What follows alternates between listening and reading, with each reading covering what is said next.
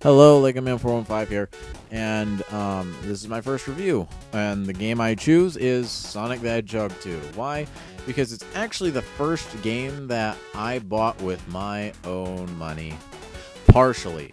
Me and my oldest brother, I should say, went three quarters and a, a quarter. But anyway, I mean, we had Sonic 1 for the Genesis, but I always liked playing Sonic 2 because Sonic 2 you could run faster and I liked that as a kid. Um, I guess I should start out with the story. And basically, the story is after the first time Sonic beat Dr. Robotnik, he's now creating this Death Egg, and it's up to Sonic and his new buddy Tails to stop him. This, of course, is the introduction of Tails and the Spin Dash. For those who don't know, the Spin Dash was a leftover bit from the first one, it, and I'm guessing they didn't fully develop it because of time constraints. Plus, I cannot imagine trying to spin dash in that game.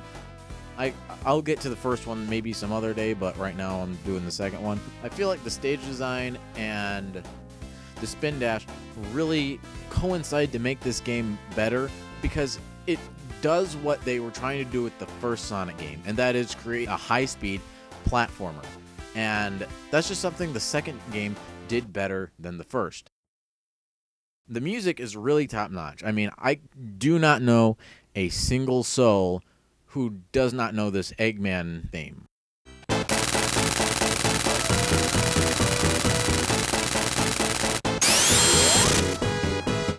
And I once had a cell phone game that used the Chemical Plant Zone theme.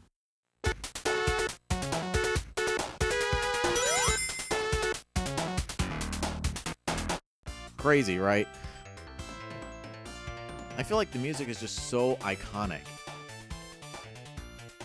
But anyway, the boss fights to me are kind of a cakewalk. I mean, it actually kind of just drops in difficulty at the end of the game, really. It's, it just gets really hard. You know, the final egg robot.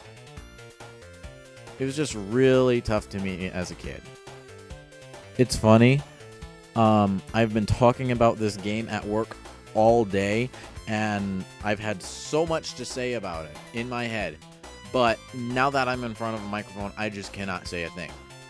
Another thing you can do in this game is play Tails during the single player mode. I don't know why you would do that to a friend or a sibling, but there is that option. And you see, the problem with that is that the camera focuses on Sonic all the time. It's not split screen like the multiplayer it almost just kind of becomes I hope I don't outrun Sonic because once you fall off screen, you're not going to be able to find yourself again, at least very easily. Another problem with this is that Tails can't really do anything. He can collect rings for you, he can destroy enemies, don't get me wrong, and he's very helpful during boss fights. But he cannot collect power-ups for you. Those computer monitors, he cannot destroy them for some reason. And also he can't fly.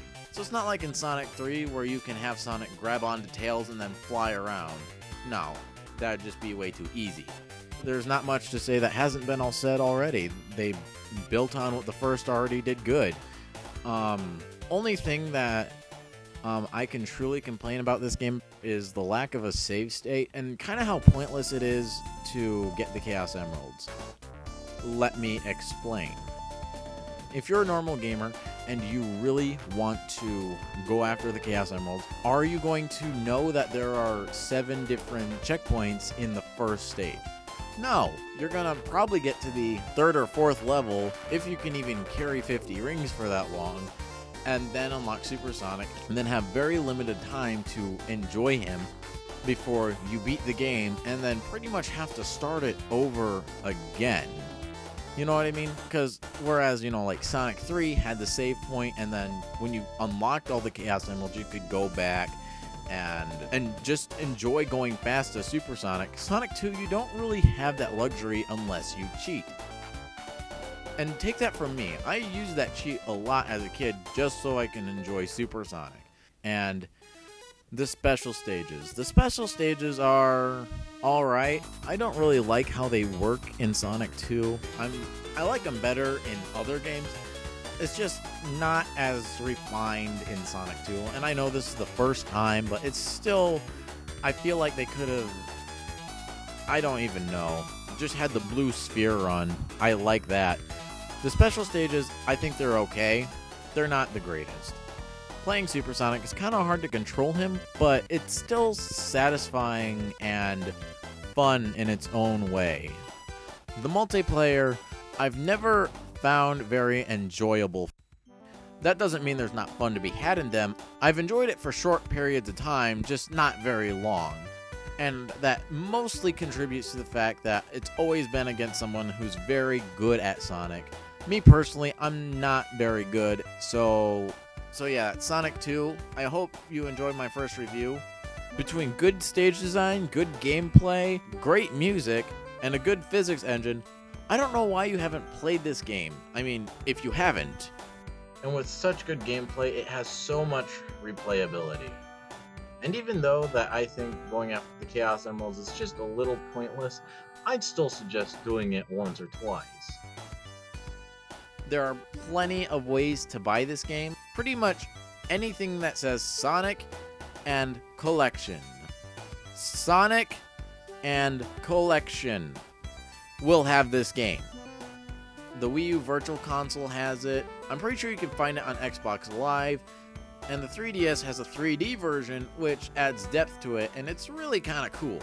I've only seen screenshots, but the effect is still there. This is Lego Man 415, and I bid you a good day and a better weekend.